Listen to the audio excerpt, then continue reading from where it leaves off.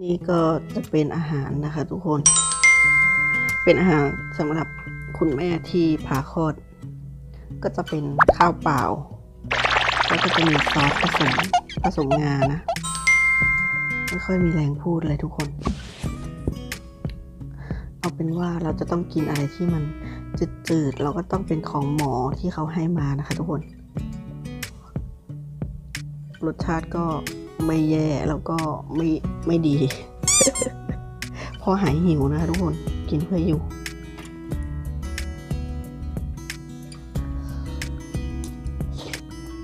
ทุกคนตอนนี้กีตาร์ก็อยู่โรงพยาบาลวันที่สามนะที่สภาพรู้สึกแบบบวมๆเออนี่นะคะคลอดที่เกาหลีนะคะทุกคนโรงพยาบาลไอวูแมนนะ ที่จังหวัดภูฮังนี่นะคะไม่ได้ไปไหนไกลใกล้บ้านเขามีอะไรมาให้ก็กินกินๆไปนะคะ เพราะว่าต้องเอาตัวรอดนะครับ ไม่งั้นจะแย่นะประสบการณ์ผ่าคลอดคือทรมานมากนะคะทุกคนตอนนี้เจ็บแผลว่าป้าเขาไม่อยู่นะคะออกไปร้านกาแฟรู้ สึกว่าจะไป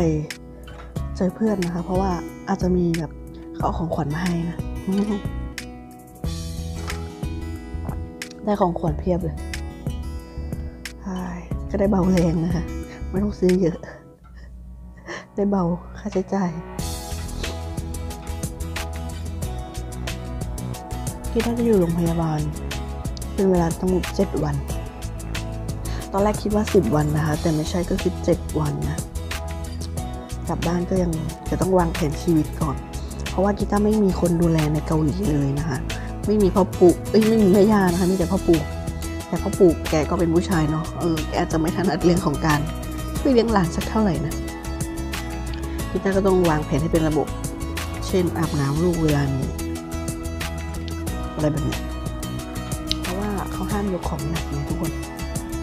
คนผ่าคลอด ห้ามอาบน้ำเนาะไม่ใช่ห้ามอาบน้ำห้ามให้แผลโดนน้ำเป็นระยะเวลาประมาณหนึ่งเดือนโดยประมาณแล้วก็อาจจะเช็ดตัวเอานะคะทุกคนแต่วินาทีของการเป็นแม่มันคือแบบเสียสละมากนะเพราะว่าเจ็บคิดถึงคุณแม่เลยนะคะ ตอนในวันที่คลอดเราเนี่ยแม่คงเจ็บมากนะ แต่กรณีของกีตาร์คือคลอดก่อนกำหนดเนาะก็จะมีการส่วนส่วนส่วนอึแล้วก็ส่วนฉี่นะคะเจ็บมากนะคะ ตอนที่ส่วนอึส่วนฉี่เจ็บมากแอบทรมานนิดนึงส่วนก้นเนี่ยทุกคนแต่ต้องอดทนนะ เพราะว่าเราไม่ได้อดอาหาร อาการของกีตาร์เลยนะคะที่ได้มา ลอดก่อนกำหนดเนี่ย เริ่มจากที่มีน้ำคร่ำเนี่ย แตกก่อนกำหนด มันจะน้ำคร่ำก็คือจะเป็นน้ำที่มันใสๆนะคะทุกคน น้ำใสๆแบบที่ไม่ใช่ฉี่ที่ไม่ใช่แบบน้ำอย่างอื่นนะนะคือกลิ่นมันจะแปลกๆด้วยกลิ่นมันจะเป็นกลิ่นที่มีลักษณะพิเศษเนาะที่มันไม่ใช่กลิ่นฉี่แล้วกันเนาะคือให้เราดมแล้วทีนี้คิต้าก็ไปใส่ผ้าอนามัยที่เป็นกางเกงในใช่ไหมที่มันเป็นแบบคล้ายๆแผ่นเพิดเออใส่ปุ๊บเสร็จปั๊บก็ น้ำไหลตลอดเวลา ตอนนั้นเป็นเวลาเที่ยงคืนแล้วบอกบอกป้าว่าเอ้ยน้ำไหลนะ น้ำไหลตลอดเลยอะไรเงี้ยเราก็เลยแบบเปิดดูใน Google ว่าน้ำไหลแบบเนี้ยต้องทำยังไงเนาะน้ำไหลในที่นี้ก็คือน้ำข้ามแตกนั่นแหละ เปิดดูใน Google เอ้ยเปิดดูใน YouTube นะคะ ว่าเออเป็นยังไง เขาบอกว่ามีอาการแบบนี้ค่อนข้างอันตรายนะคะ ก็คือเด็กใกล้จะคลอดแล้วอะไรเงี้ยก็เลยโทรไปถามแม่ด้วยนู่นนี่นั่นเขาก็มีการยืนยันว่าเออเด็กจะออกแล้วนะนู่นนี่นั่น หลังจากนั้นก็เปลี่ยนกางเกงในไปตัวหนึ่งละแล้วก็มาใส่อีกตัวนึงเสร็จปุ๊บมันก็เต็มผ้าอนามัยอีกโอ้ยมันไม่ใช่ผ้าอนามัยดิมันเป็นผ้าอนามัยแบบกางเกงอะ่ะเออมันก็เต็มกางเกงอีก อืมเสร็จปุ๊บพี่ตาก็บอกว่าไม่ไหวแล้วสงสัยจะคลอดทีนี้โอป้าก็บอกเออไปเลยไปโรงพยาบาลกัน ทีนี้เสร็จปุ๊บพอมาถึงโรงพยาบาลปวดท้องคลอดพอดีเลยจ้าทุกคน อะไรมันจะเหมาะเจาะขนาดนั้น หลังจากนั้นพยาบาลก็จับเรานะคะไป ไปถอดกางเกง แล้วก็ส่วนอื่นส่วนชีไวมากนะคะพยาบาลทำไวมาก โดยที่เราไม่ได้ตั้งตัวเลยด้วยความที่ว่าน้องจะออกแล้วนะคะพี่ตาก็ใช้วิธีการบล็อกหลังถึงจะสลบไปนิดนึง แล้วก็ผ่าตัดคลอดลูกออกมาเวลาเที่ยงคืน เอ้ยไม่ใช่ดิเวลาตีสองทุกคนตีสองเก้านาทีนะคะเป็นเวลาท้องถิ่นของเกาหลี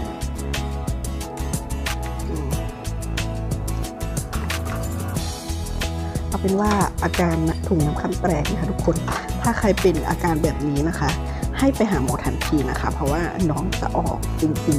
ๆ มันเป็นสัญญาณเตือนว่าน้องจะออกแล้วนะคะทุกคนสำหรับคลิปนี้นะคะ ถ้าใครชอบคลิปนี้หรือว่ามีความคิดเห็นอะไร จะบอกกีตาร์เพิ่มเติมนะคะ หรือว่าเออแนะนำนู่นนี่นั่นอย่างเงี้ยก็มนไว้ได้นะทุกคนอยากจะให้ทุกคนคอมเมนต์ไว้เยอะๆนะคะสำหรับวันนี้นะคะกีตาร์ก็มีสาระเพียงเท่านี้ค่ะทุกคน บ๊ายบายค่ะ โอเคค่ะทุกคนบ๊ายบายนะ ตอนนี้นะคะคุณแม่นะคะก็ยังไม่ได้เจอคุณลูกเลยสองวันแล้วเขายังไม่ให้พบนะคะ มีแต่คุณพ่อนะคะที่ไปพบลูก ซึ่งคุณแม่ก็ไม่ไม่ได้เจอลูกเลยค่ะทุกคน ตอนนี้คิดถึงลูกมากแต่ก็ยังไม่ได้เจอ เอาเป็นว่าถ้าได้เจอลูกนะคะเดี๋ยวกิตาจะมาอัปเดตให้ทุกคนเห็นกันนะคะ ความน่ารักของน้องยุนอานะคะ น้องน้องน้องชื่อคิมยุนอานะทุกคนฝากไว้ด้วยฝากกดไลค์กดแชร์กด subscribe